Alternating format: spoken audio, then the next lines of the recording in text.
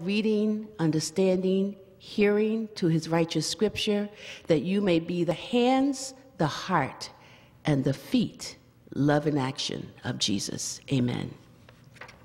And because of that, because this lost sheep has come home, I want to share with you this song. I know the Trinity folk know it. My name is Victory.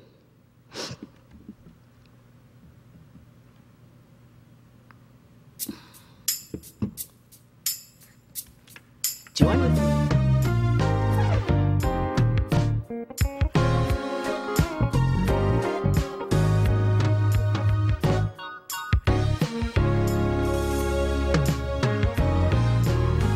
I've got everything.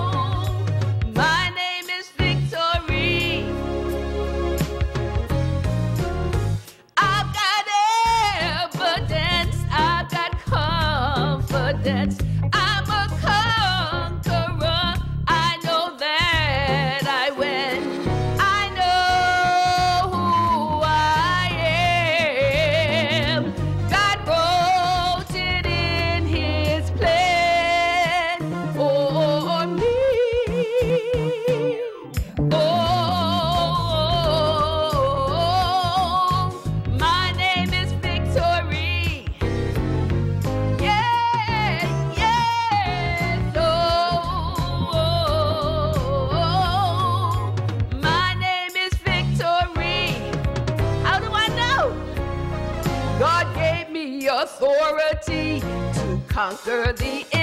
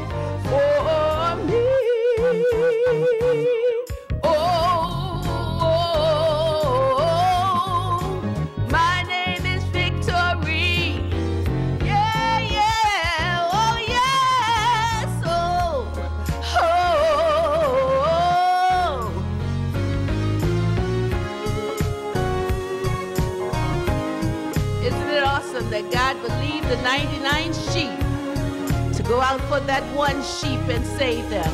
I'm so glad that God has saved me. Today, take a moment. If you don't know the Lord for yourself, take a moment right now and accept Jesus into your life.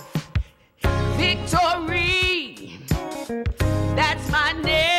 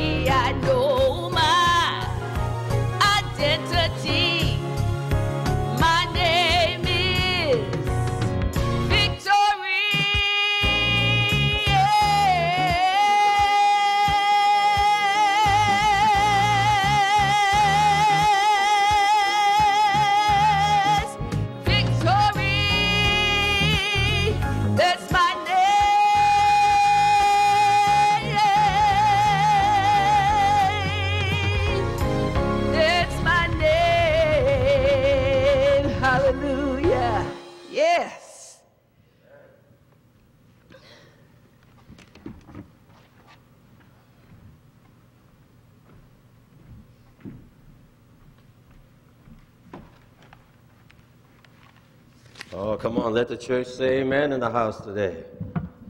Oh, we're praising God. We're praising God. Turn with me, if you will, in your Bibles as we start this new sermon series for the month of April. Uh, four sermon series that we, that the Lord has led me to entitle uh, "The Resurrection of Hope." And we're, because it is Palm Sunday, we're, gonna, we're turning our attention to, uh, to John's rendition of the triumphal entry. You will find that in your Bibles in chapter 12. I'm focusing our attention on verses 12 through 19. So, chapter 12, verses 12 through 19 in your Bibles. I'm going to read it to you this morning, and uh, let me read it to you in the King James Version. And then we want to hone our attention on uh, a little bit of the study as we move towards our theme. Well, let me just read this from the King James. John chapter 12, beginning with verse number 12. It says, On the next day, much people that came, that were come to the feast, when they heard that Jesus was coming to Jerusalem, took branches of palm trees and went forth to meet him and cried, Hosanna! Blessed is the King of Israel that cometh in the name of the Lord. And Jesus, when he had heard, when he had found a young colt, sat thereupon, as it is written. And as it was written in the Old Testament prophecies, it said, Fear not, daughter of Zion, behold, thy king cometh, sitting on an ass's colt. These things understood not his disciples at the first. But when Jesus was glorified, then remembered they that these things were written of him and that they had done these things unto him. The people, therefore, that were with him when he called Lazarus out of his grave and raised him from the dead bear witness. For this cause the people also met him, for that they had heard that he had done this great miracle. The Pharisees therefore said among themselves, Perceive ye how ye prevail nothing? Behold, the world is gone after him. Now, for today's time together, church family, I want to, I want to back into this uh, triumphal entry, this Palm Sunday celebration, by focusing in on those, that, that, eight, that verse that says, 17, that says that the people, therefore, that were with him, excuse me, when he called Lazarus out of the grave, out of his grave, and raised him up from the dead, bear record. John uniquely, John uniquely shares the episode and writes and connects the, the resurrection of Lazarus, not only to the, uh, to the Pharisees and the religious leaders seeking to kill both Jesus and Lazarus, but to the triumphal entry of Jerusalem, the Palm Sunday triumphal entry that we just read to you, John's version of it. You will remember if you look back, flip back just a chapter I've got two life lessons to share today, but if you flip back just a chapter to chapter 11, that Martha and Mary and Martha had sent, uh, sent someone out to Jesus to let him know that Lazarus, Lazarus was sick unto death. And if you recall that Jesus is telling his disciples uh, let's go to Lazarus because he sleepeth. And the disciples didn't understand what that meant. They said, well, if he's resting, if he's sleeping, then he will rise again, Jesus. And Jesus says, no, let me make it very plain to you that he has died. And we're going to the family and to raise him up again. And there's an interesting passage there as Jesus is approaching. He waits two days. Lazarus has already been, the journey took about a day to get there to, from Bethany to Bethany, from Bethany to Jesus, and Jesus back to Bethany. He waits two days so that by the time Jesus gets, is approaching the family of Mary and Martha, Martha and Mary, that it has been four days that Lazarus has been dead. Now, there's an interesting dialogue that takes place as Jesus is approaching uh, Bethany, approaching the house of, of Mary and Martha. That says that Martha came out. Let me, let me pick up with chapter 11, verses 21 through 29, because that's power filled. You, are going to want to read this. I'll read it to you. In that 21st verse, flip my pages back if I can, it picks up the storyline. It says, Now,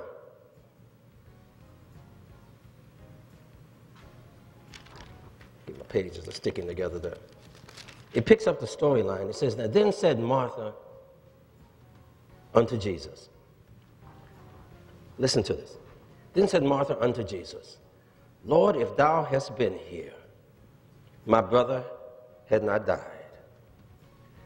But I know that even now, whatsoever thou wilt ask God, God will give it thee.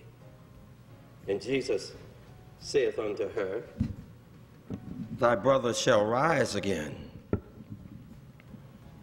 Martha saith unto him, I, I know that he shall rise again in the resurrection at the last day. And Jesus saith unto her, I am the resurrection and the life. He that believeth in me, though he were dead, yet shall he live. And whosoever liveth and believeth in me shall never die. Let me give you this first life lesson if you're jotting down. When unexpected and overwhelming trials threaten your faith and your hope, trust in Jesus. Trust in Him to resurrect and to renew your spirit and to give you new life in Him. Be grateful today. Let me, let me read that for you twice. When, un, when unexpected and overwhelming trials threaten your faith and your hope, trust in Jesus to resurrect and renew your spirit and to give you new life in Him. Trust in Him and be grateful today. Church family, let me unpack this a little bit. There's something powerful that's taking place in this one, this one encounter here that's leading up to the resurrection of, of Lazarus by Jesus. It, it, reveals so much of what we might even be going through somewhat today as we deal with, uh, with the very virus that's worldwide, this pandemic. It has to do with some of the stages of what happens when we drift in, we drift towards a, a state of feeling hopeless and help, helpless, not able to control our circumstances, our environment around us, and how that can impact us from a psychological standpoint. Martha comes out to Jesus, and Jesus has been, you know, it's been four days now, and, and Lazarus has been dead. And the statement she makes to him, and she echoes it, Mary echoes it when, he, when she comes and approaches Jesus later, gives us some insight into some of how we, how, how we deal with unexpected and somewhat overwhelming circumstances. Let me, I jotted down uh, five D's, five words to begin with D that, that made me think of the, the concept that we somehow drift to if we're not careful. When you look at, when you pull up a seat beside Martha, and she invites us to do this, uh, you, you find yourself experiencing with her her sense of doubt, and it plays itself in the fear. She, she had lost her brother, and the circumstances have been overwhelming. Physicians were not able to, to heal or find a, a, a formula that could solve the predicament that he was in physically. Uh, it's a family member loss. It's a, it's a loved one that's close to her. It's her brother. And she's dealing with this. And, and, and in this moment, our humanity has a tendency to want to doubt. Doubt ourselves, doubt the environment that we're in, doubt the people that are around us. And, and it begins to, our faith can begin to get a little bit shaky if we're not careful. It's a, Martha was going through that moment. And, and doubt has this interesting way of of, of cascading, of growing and expanding to the point that it leads to disappointment in the very people that we might have trusted, the very people that have cared for us, the very circumstances that we've been in, wondering whether or not we're able to handle our situations, wondering whether or not we have the intellectual capacity to deal with the things that are happening around us, wondering whether or not our emotional makeup is strong enough to be able to gird, gird up underneath of the weight of the things that are going on in our circumstances and our life situation there. And it leads to a sense of disappointment. Doubt can lead to disappointment, the second D in our formula. And disappointment has this interesting way of leading us into a depressed state if we're not careful. it will make us it will make us turn in on ourselves. It'll make us uh, uh, uh, uh, regress emotionally, if you will. It'll make us not look at world from look at the world and our circumstances from the eyes of hope, but the eyes of helplessness and the eyes of hopelessness. Uh, we have to we have to gird up. Martha was was walking through this journey, and she stepped through doubt, and she stepped through disappointment, and she stepped through a state of feeling depressed. And you could hear it in her statement as she was talking to Jesus. For she said to Jesus, if, if you had only been here, Master, if, Lord, if you had only been on the scene and been able to put your hands on my brother, been only able to speak a word in his presence, then surely he would not have died. She didn't recognize, she didn't understand fully that there standing in front of her was indeed the God man, very God and very man. Even though he had performed miracles before, he'd raised a couple folk from the dead.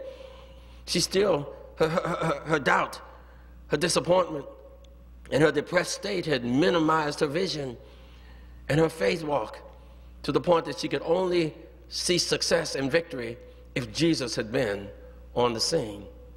And it has a way of, if we allow it to escalate, to, to lead us toward a, a place of detachment, a place of wanting to be isolated. Uh, we feel like we just don't want to be around people. We're social beings, we're, we're relational people.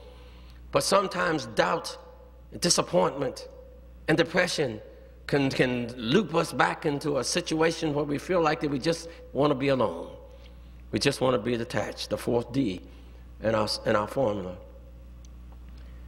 And if we're not careful, that, that sense of detachment can grow to the point that it begins to hit the final D, which is a distorted view, distortion. It changes our outlook and our vision on life and on people and on the world that we live in, from doubt to disappointment to depression to detachment to distortion.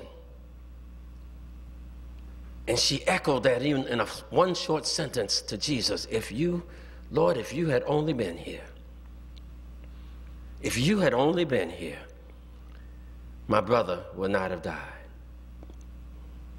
But the beauty of calling out to Jesus, the beauty of reaching out to Jesus, even with our doubts and our, and our disappointment and our depression and our detachment and our distortion, is that Jesus is the answer to all of that. He has a, a way of not only speaking into that, but making his presence powerfully known. He, he's able to move us out of that state of hopelessness into the powerful state of hope in him, in Christ Jesus. And he speaks a word that is powerful as you look at these scriptures and it, it, it, it, enlightens us, it enlivens us, it gives us hope in the journey. He says, I am the resurrection. Matter of fact, he uses a term that the Hebrew, Hebrew students, the Old Testament scholars would understand uh, uh, clearly when he says, he uses Yahwehistic terminology. Allow me to go there for a moment.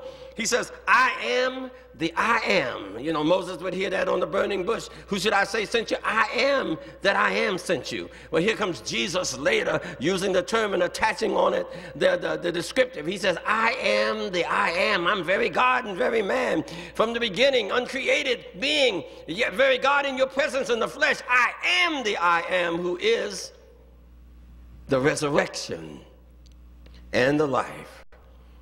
And immediately, as Jesus spoke into that, he moved her, he spoke faith into her doubt. He, he spoke hope into her disappointment.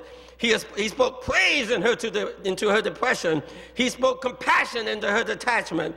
And he spoke kingdom vision into her distortion.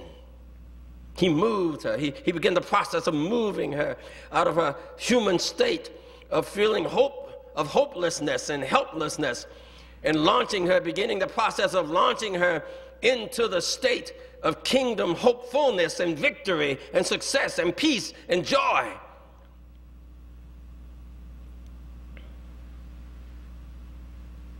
He says, He that believeth in me, though he were dead, yet shall he live. And he did all that. He said all that to Martha, and he repeated that message in Mary's presence to Mary. He says, when she says, If you had been here, he says, Show me where he is. Take me to where he is. And, and when he performs a miracle and he says, Lazarus, come forth out of the tomb, and Lazarus, after four days being dead, gets up and walks out of the tomb, he not only has pronounced the word, that he indeed is the personification of resurrection and life, eternal life with God through Christ Jesus. He now demonstrates that he has the power. The one who created the universe now has the power not only, uh, uh, uh not only over sin and sickness, but over very death, death itself, and the power to give life and life eternal, life everlasting. The storyline tells us that, that there were crowds around there that were watching. And they got excited about this Lazarus and excited about Jesus because he had raised him from the dead. And they began to follow him. Before we move on to the Palm Sunday morning, the Palm Sunday of triumphal entry, the question on the table that I think that the Word of God is asking you and me right where we are today is there any, any part of that experience that Martha and Mary are going through, have gone through that you can relate to today? Is there any, as you're dealing with uh, the, this imposed quarantine, this sheltering in moment, uh, that is causing, that is surfacing any type of sense of doubt in your journey? Uh, is the doubt trying to permeate and, and infiltrate your thinking and move you towards disappointment? Uh, like you feel like that you're not fulfilling your purpose in life or, or that things around you are not happening like you believe they should. Are you, are you going through any state of feeling depressed in this? It's a human component to drift down this road uh, and, and, and, and move toward detachment and distortion. If you're experiencing any of that today, Jesus comes along with some good news and, and allows me to share it in His Word with you that the, Jesus is not the author of fear. God did not give you the spirit of fear. That's not what He does. And, and, and, and if you're feeling any doubt in your journey, uh, he, he invites us to remember who you belong to. Remember who you are in Christ Jesus. And remember that He indeed is not only the author of life, but He's the resurrection, the source of resurrection. He is, He, he says, I am the I am who is the resurrection and the life. And if you believe in me, indeed, you shall not die, but you shall experience. You shall not have eternal death, but you shall experience life everlasting with Christ Jesus. And you are a new creature. Oh, I need to take a moment here. You are a new creature in Christ Jesus. Old things have passed away. All things have become new. Doesn't mean you never experience doubt. Doesn't mean you never experience disappointment. Doesn't mean you never know what it feels like to be depressed. Doesn't mean that you don't know what detachment feels like or distortion in view feels like. But it means that when, when you come to Jesus as a new creature in Christ Jesus, that indeed he has this powerful way of resurrecting your hope and giving you assurance and faith to walk this journey knowing that you are a child of the King and that you have victory in Christ Jesus. Uh, he'll, he'll, he'll take your hopelessness and turn it into hope. He'll take your helplessness and turn it into sure enough help. He'll, he'll, he'll, take, you, he'll take your depression and turn it into praise. If you just come to Him, lean on Him, trust in Him and believe that He's able to fulfill all His promises, He will renew your spirits and give you new life. Be grateful today. Well, the storyline then leads us to the Palm Sunday.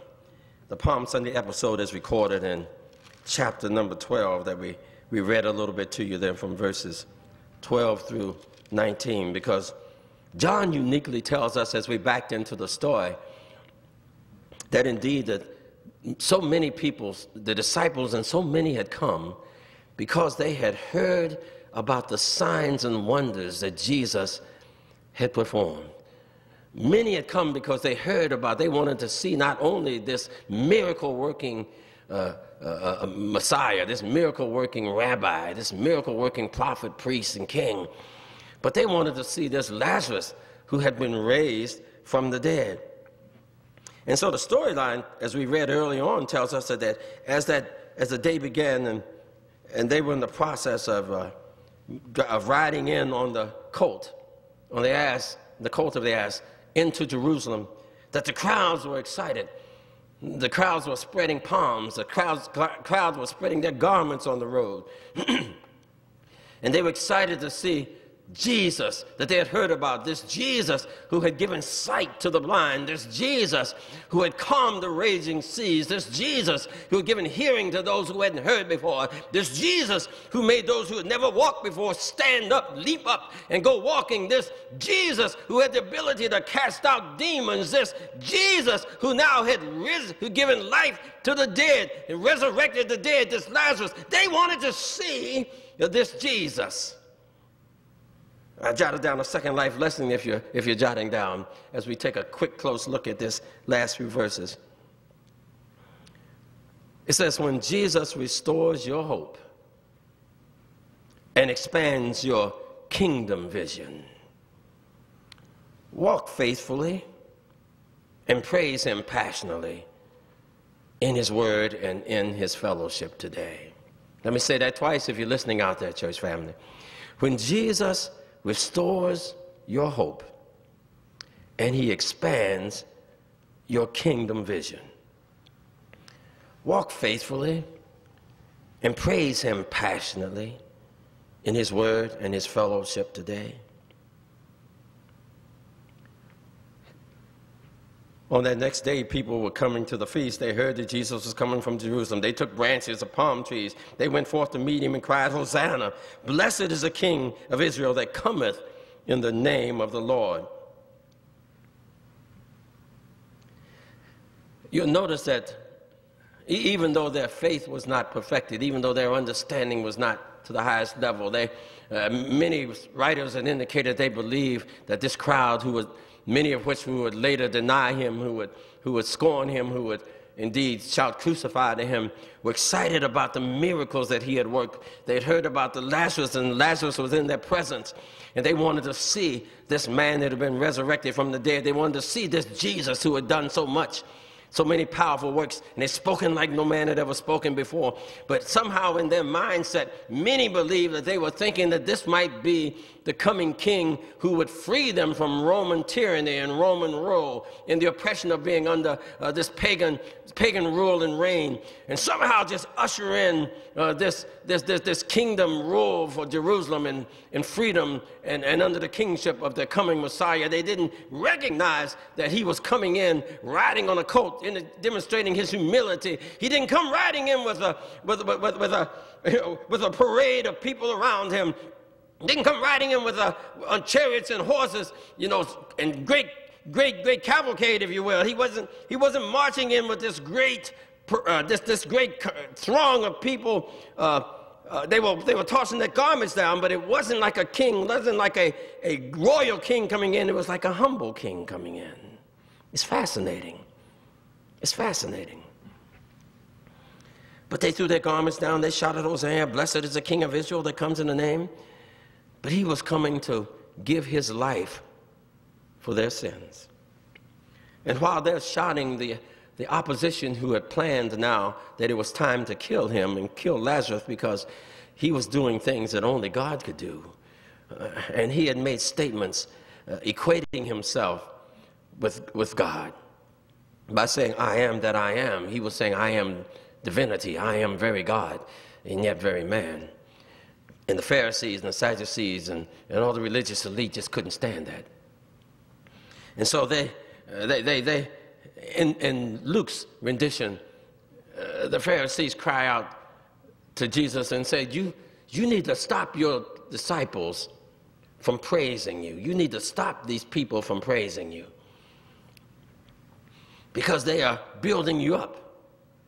And Jesus says to them, if they hold their praise, then the rocks will cry out. If the people don't lift up their voices shouting, Hosanna, King, coming King, blessed is the King of Israel that cometh in the name of the Lord, then God will absolutely, God the Father will absolutely put vocal cords on a stone. You know, he put lips on a rock, and the rocks will cry out praise unto him. For indeed, standing in front of you is not just the King of, King of Israel, but the King of Kings and the Lord of Lords. Not just riding in in front of you is, is, is the one who's coming in uh, representing uh, kingship to Israel, but the one who's the creator of the universe. All things were created by him and for him and sustained in and through him. He's now tabernacling among you. And I, even though opposition might come, church family, while you're going through your, your time, your, your time maybe of wrestling, your, your time of unease, your time of unsettlement, Jesus has a powerful word for you. He has a powerful word of, of resurrection. He has a powerful word of renewal that can speak right to where you are and lift you up out of whatever state you might be in and give you joy and give you peace. And in the process, when, you, when the Lord restores that hope, He has a way of also expanding your vision, your kingdom vision, so that you're not looking at your circumstances and looking at, looking at them as if they have an overwhelming impact on your life and measuring your ability to function in the midst of your circumstances. We can't control this virus. There's nothing we can do to get our arms around it and how it spreads. But I came by to tell you this morning that all of this God is in, God has, has his arms around. He's, he's sovereign, he's in control. And somehow in the midst of this, God is able, he's promised he's able to make all of these things work together for the good and for his glory and for those who are followers and believers and are called according to his purpose.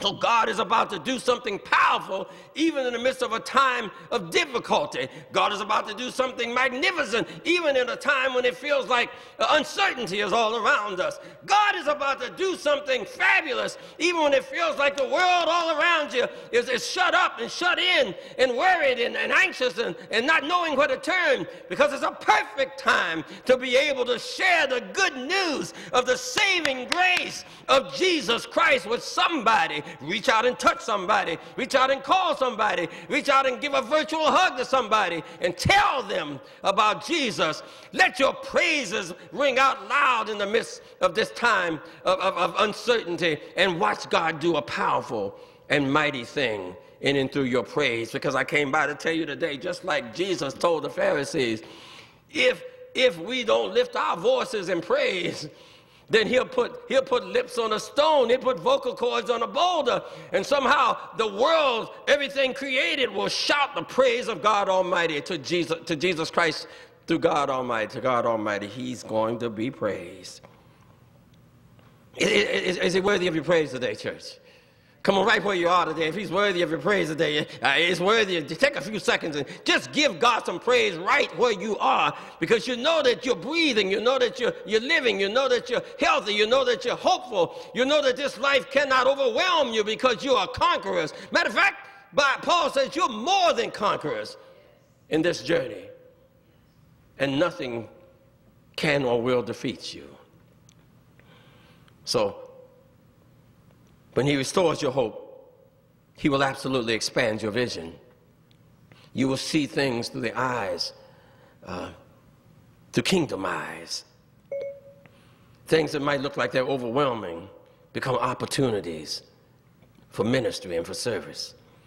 Things that might feel like they're hopeless become opportunities to spend time intimately with the Lord in His Word and in prayer and watch how he builds you up in faith, strengthens you up emotionally, expands your thinking intellectually, and enlarges your spirit to serve and to reach and to touch others.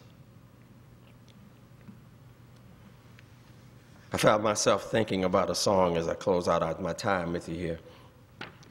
It's one of those old hymns that uh, it's one of those William Bradbury hymns from back in the day. You know it so very well. And it has such powerful meaning when you kind of speak it out loud. The writer writes, My hope is built on nothing less than Jesus' blood and his righteousness. I dare not trust the sweetest frame, but wholly lean on Jesus' name. When darkness veils his lovely face, I rest on his unchanging grace. In every high and stormy gale, my anchor holds within the veil. when he shall come with trumpet sound. Oh, may I then in him be found, dressed in his righteousness. Oh, somebody's praising now.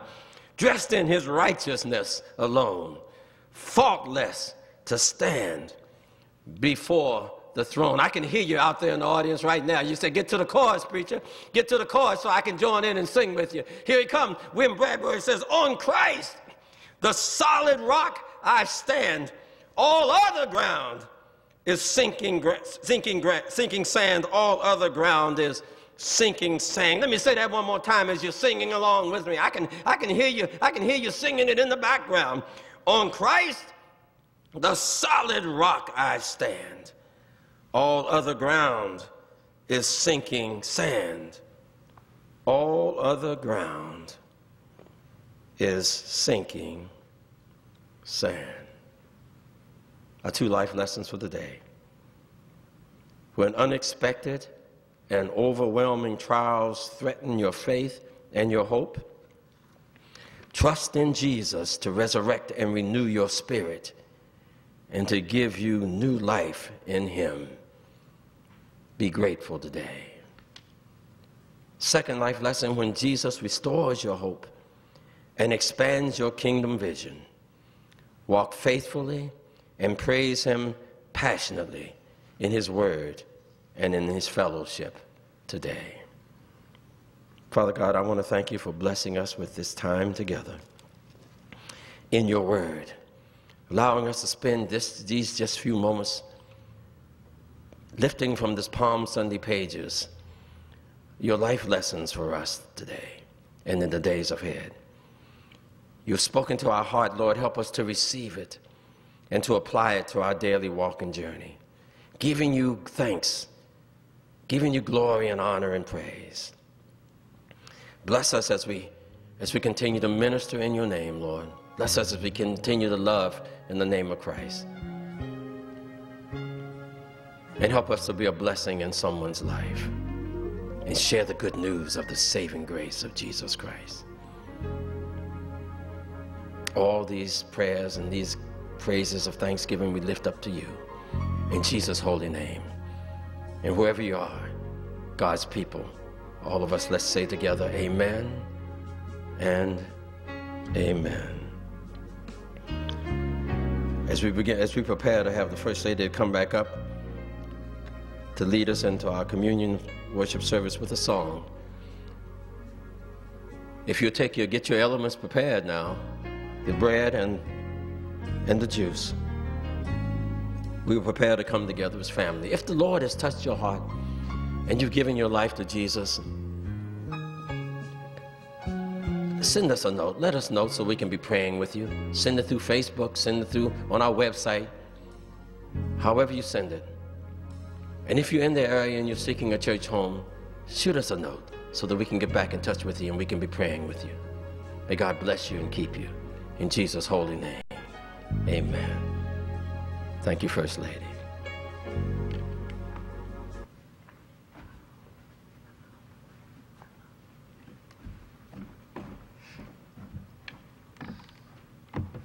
Amen. We're going to take a moment. Somehow my uh, iPhone is disconnected, so we are going to reconnect as we will usher in communion time.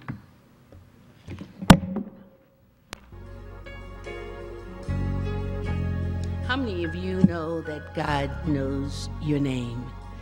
That He walks with you and He talks with you, and He tells you that He is your own. Well, I want you to take a moment and to meditate on those words as we go into communion and sing. Sing along with me. He knows my name.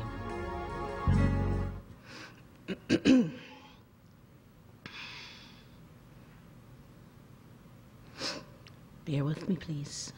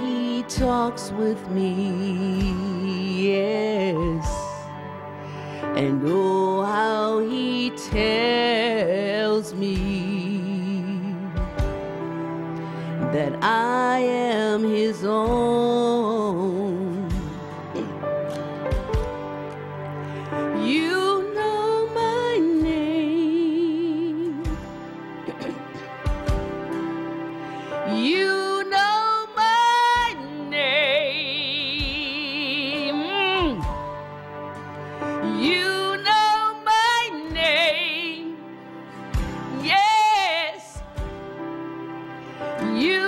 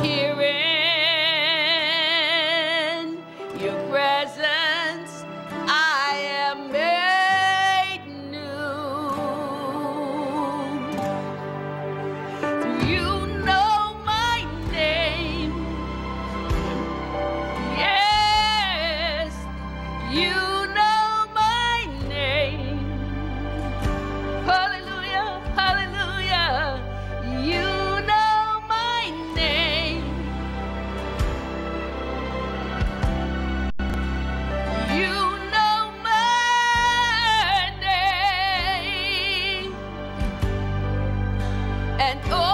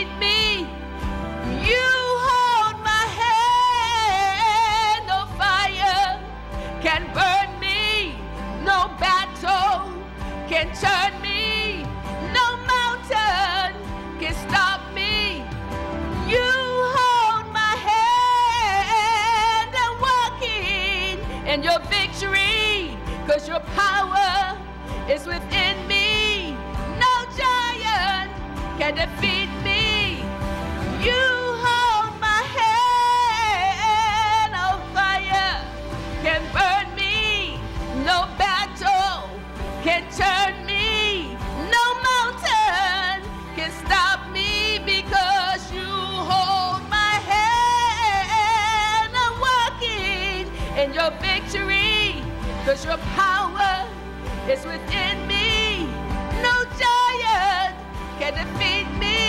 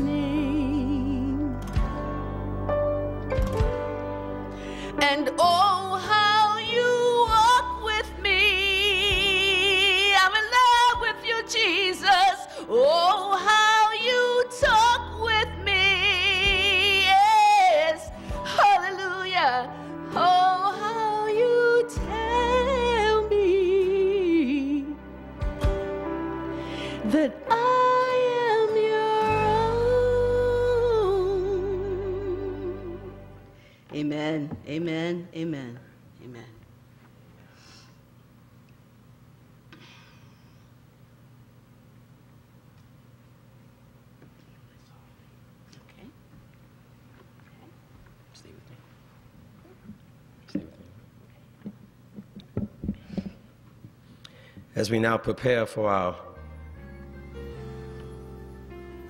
online communion together as family. Take one for me and for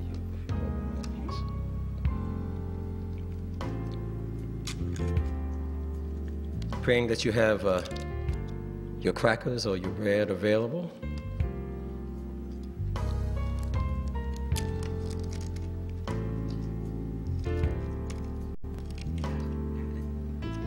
Take those and prepare those, First Lady and I will join with you together in our time of communion. The Word of God shares with us that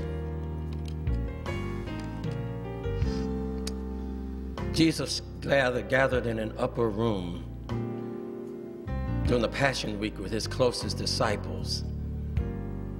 And there, he was sharing the Passover meal, celebrating the freedom and the deliverance of Israel from Egyptian bondage.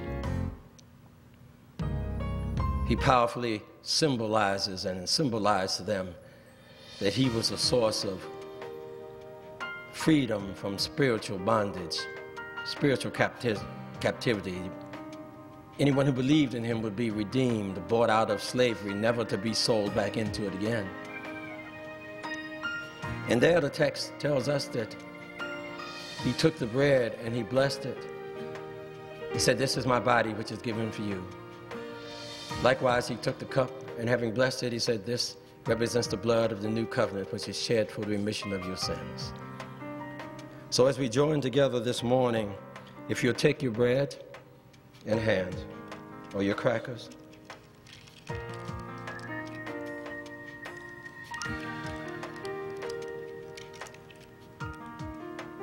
and before we share together, let's just bless this. Father God, we thank you so very much for blessing us with this opportunity to have communion together.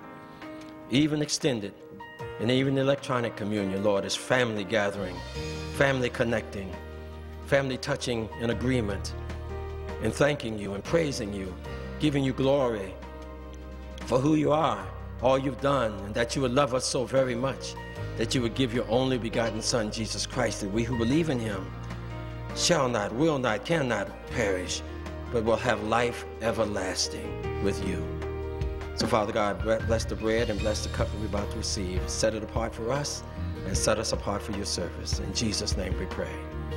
So, the Word of God says He took the bread and having blessed it, He said, This is the body. This represents my body, which is given for you, broken for you. Let's eat together, church family.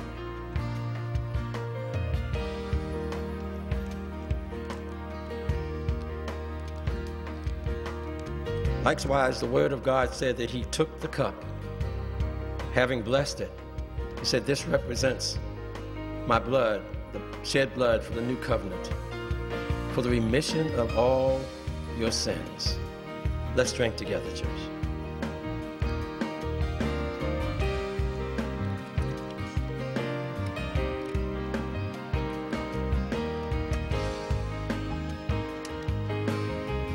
after they had shared the Passover meal, the scriptures share with us that they went out toward the Mount of Olives singing a hymn together, rejoicing, praising God for who He is and for all that He has done.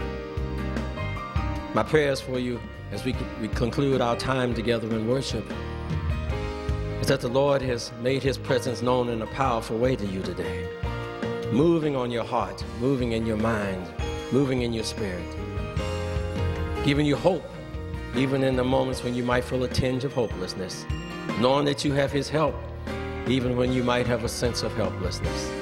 He's a great God, church family. He's a mighty God. And you and I, we are His children, new creatures in Christ Jesus. So have a fabulous week in Jesus Christ. Reach out and touch somebody in the precious name of Jesus. Share the good news with somebody uh, as, as you get a chance to in the precious name of Jesus. Spend time when you get up in your devotional time, in prayer, and in praise, in study, and in even distant fellowship. It is Passion Week, and until we meet again, we are praying for you. Let us hear for you, you, hear from you if you have any prayers, any anything we need to be lifting up in prayer for you. We love you. We're your family. Trinity Baptist Community Church, Bishop Love, and First Lady Karen Love. Keep us in your prayers, please. So, with our heads bowed, our eyes closed, and our hearts humbled before the living God, as we assume an attitude of prayer and we lift our hands to Him in praise. Now unto Him who is able to keep you and me from falling and present us faultless before the presence of His glory with exceeding joy. To the only wise God, our Savior, be glory, majesty, dominion, and power, now, henceforth, and forevermore. Let all God's people say amen and amen. May God bless you and God keep you. Have a fabulous week in Christ Jesus.